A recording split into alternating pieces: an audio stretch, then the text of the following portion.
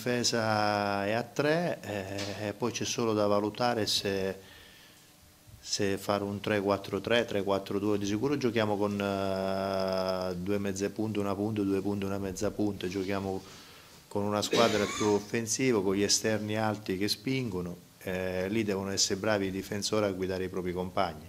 È una squadra che è portato all'attacco e a giocare palla a terra, anche perché la cosa che mi sono dovuto, ho dovuto lavorare di più sul fatto che come prendevano palla lanciavano lungo. Ed è una cosa che, che a me non piace quindi ho dovuto far memorizzare sempre palla a terra. giocatori bravi, bravi tecnicamente eh, tecnicamente sono giocatori portati al gioco palla a terra anche perché sono giocatori che sull'uno contro uno sono bravi bisogna sfruttarli. Non è che ogni tecnico ragiona in una maniera diversa. Io ragiono ragiono per far divertire prima la squadra e far divertire anche chi paga il biglietto allo stadio. Poi i risultati se alla lunga arriveranno se la squadra gioca bene, è normale. Io, se, io da tifoso se vado allo stadio a vedere la squadra, la, la squadra del cuore voglio vedere almeno, almeno giocare a calcio e questo è quello che dobbiamo fare noi, giocare a calcio, fare divertire il pubblico, cercare di, di riportare entusiasmo e gente allo stadio.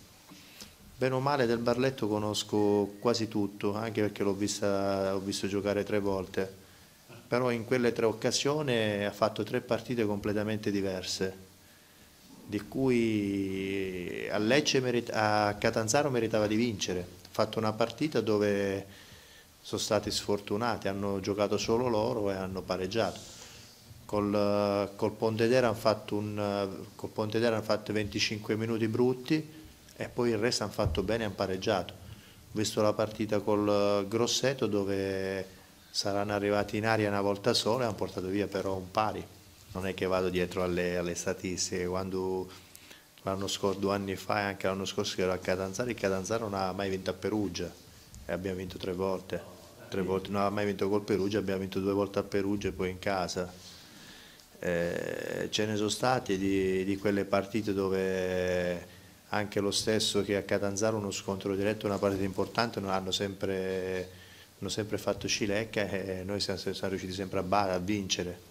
Ma quelle so, per me sono cavolate, se se poi uno va a credere alla cabala ci può stare di tutto, però l'obiettivo nostro dopodomani è quello di, di portare a casa o con le buone o con le cattive tre punti importanti e far vedere già qualcosa del cambiamento che c'è stato nella, nella società e dello staff tecnico, perché sono giovani che vogliono arrivare e hanno fame di arrivare ed è la mentalità giusta. Quelli più grandi sono elementi importanti, esperti e sono loro che devono guidare i giovani.